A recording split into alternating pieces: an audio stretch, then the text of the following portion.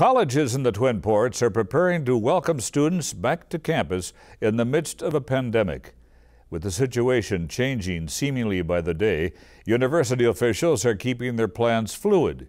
Here with the latest update is Dr. Renee Wachter, Chancellor of the University of Wisconsin Superior, and Dr. Lendley Black is the Chancellor of the University of Minnesota Duluth. Welcome to both of you. Thank you so very much for joining us. Lots of information that people really need to know.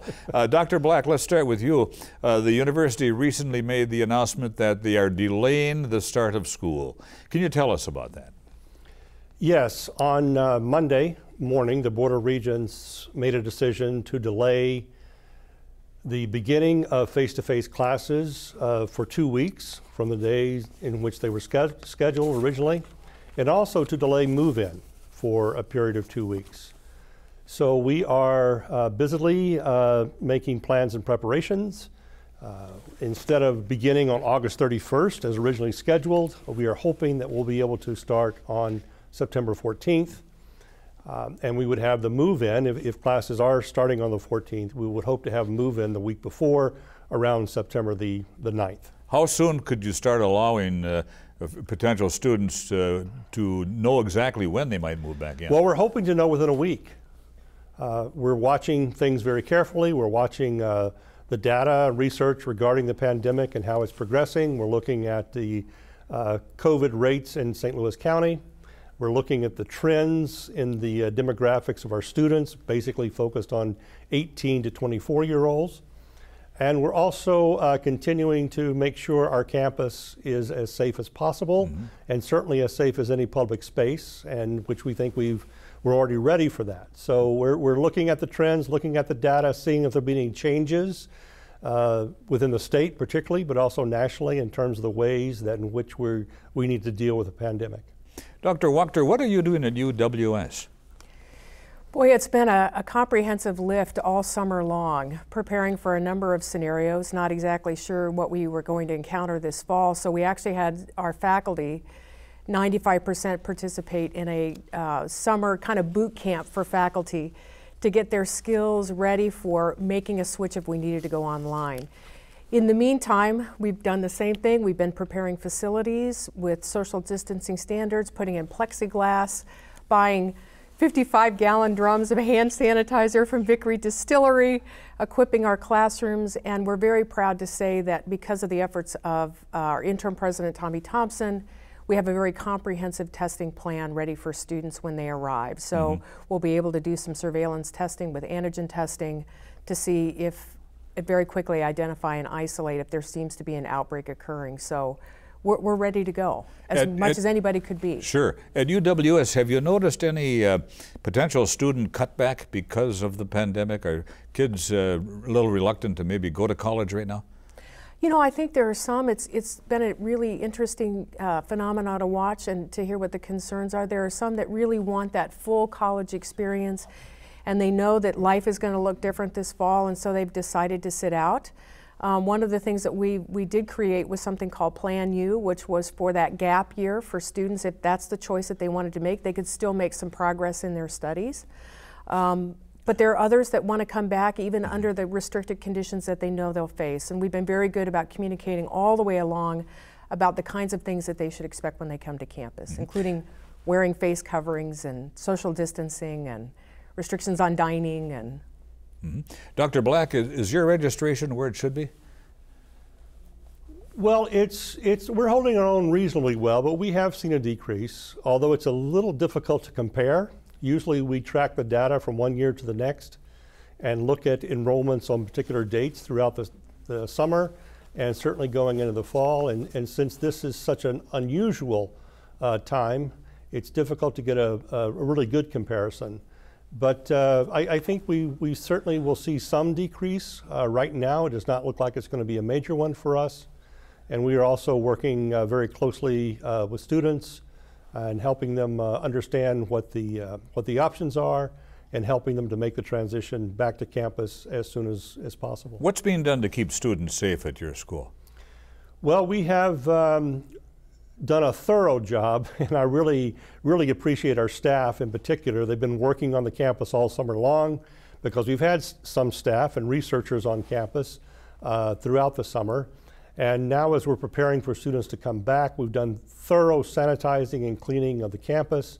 Uh, we are also using uh, various things in terms of uh, plexiglass shields. Uh, we have a Stop the COVID 19 initiative, which is uh, an initiative of uh, posters and communication that tells people what they need to do. Uh, we do have a mask requirement on campus. Uh, we are also uh, encouraging people to check their symptoms. We are also having them focus on the appropriate physical distancing and also uh, to be careful of their contacts off campus uh, as well as what happens on campus. So Dr. we feel Walk- very sure, ready for, for students to come back. Dr. Wachter, what are you doing at UWS for student safety? So very much the same thing. So everything has been prepared with that in mind. It's been a, a huge lift by our facilities staff in terms of making sure all of our classrooms are have the appropriate capacity, are spaced appropriately to maintain that six foot distance, plexiglass to uh, ensure the instructors signage about where those six foot uh, spaces are, arrows to keep people coming uh, one way in stairways, limiting people in the elevator, accelerated cleaning schedules. Um, and, and then again, for those students that are residential in the residence halls, the, the antigen testing once every two weeks. Are either of you finding your school is having a, a difficult time in trying to keep students from gathering en masse, large groups, large parties? At this point, no. We've done a, a comprehensive campaign to really try to not, not so much the stick approach, but really trying to encourage them this culture of care, that we are a family, to exercise good judgment, um, and then really trying to provide activities for them that can allow them to still get together, but do it in a socially distant, responsible way. Uh-huh. Dr. Black? Well, and that, that we're watching that closely, and that is certainly a concern of ours. We also have had a campaign with the students coming back to campus, uh, cautioning them about the dangers of being in large crowds.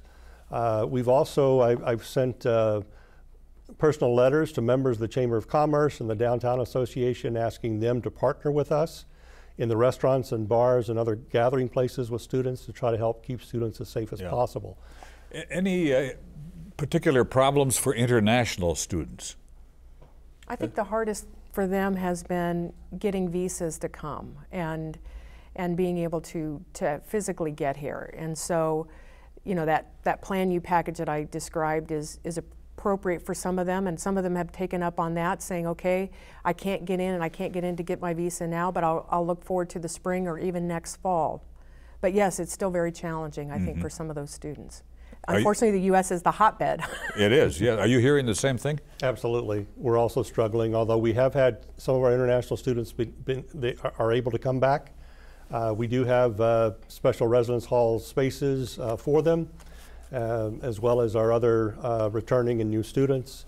Uh, so we're, we're uh, paying particular attention to them, and we uh, enjoy the resources of the University of Minnesota system, which has a very, um, a very thorough and detailed international uh, office and initiative that, Sure. that helps us with our international students. We're running short of time. What technology might students need to have if they're going to be a stay at home student? A, a really good computer, a lot of broadband width, it, uh, and, and width and depth and breadth, uh, and um, the uh, ability to sit and enjoy Zooms. It's going to be different.